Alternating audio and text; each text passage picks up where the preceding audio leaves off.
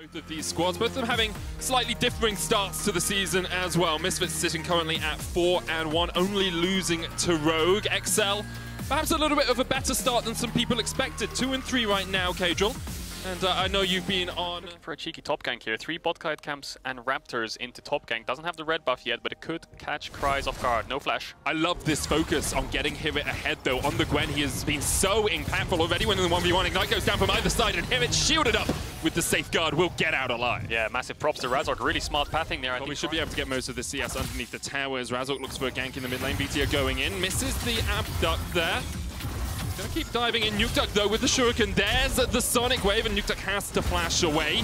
Flash saving him a little bit there. Hirit trading in the top lane with the Needlework Misses both the first two procs. Should he be able to hit the third here, and Kryze will get snipped, snipped down. Oh, Gwen, baby. That's a kill. Huge objective.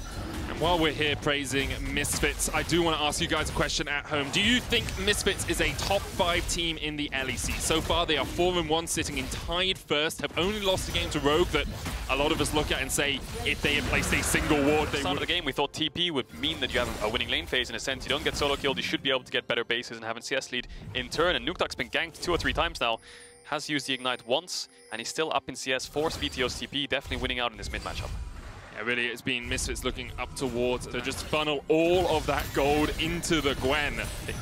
Might be able to get a full tower here. Kobbe is actually catching the bot waves for free as well, so XL losing out on the bot side, while Misfits are winning out on both lanes. Kobbe is catching the wave for free. Vanders makes sure that this jungle top of Misfits can take all the topside vision, force Stan out of his own jungle, and then at the cost of losing XL uh, can make those plays into more plays.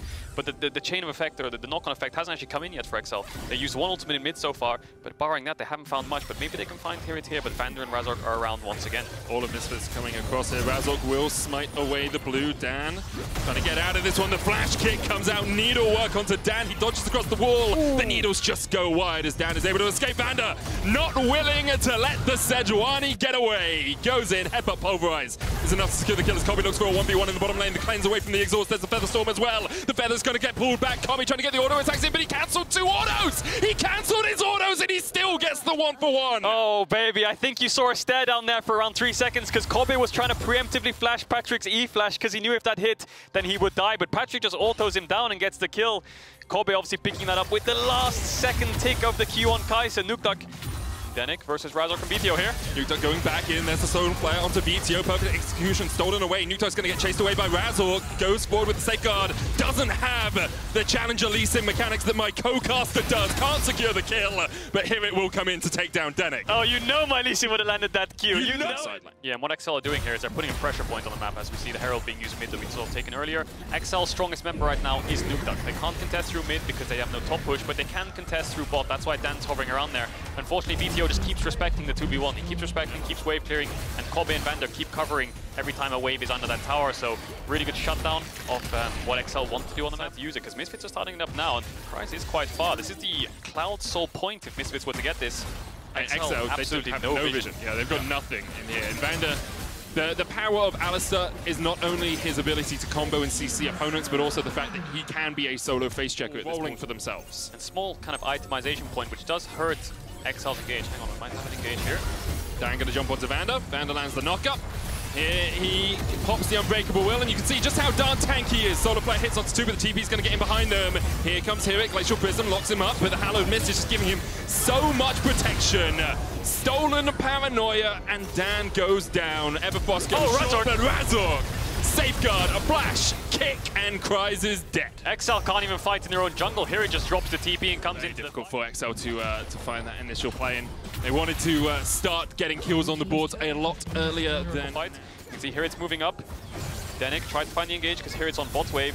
And XL are in a choke right now. Vander can get a flash knock up here, it could be huge. Here it looking for Kryze, Vander going in, there's the Feather Storm, but Vander too tanky on that front line, double kick as well as they look at Denyk, the Solar Flare's gonna land, the Feathers get pulled back and XL might find the fight they were looking for. Here it's coming in from the backside and that needlework is just doing too much damage. It was almost perfect for XL, you could sense a team fight win in the palm of their hands, and here it just cuts it away from them. Yeah, the initial fight was good. When Vander dropped and the AoE damage came through from the feathers, it looked good.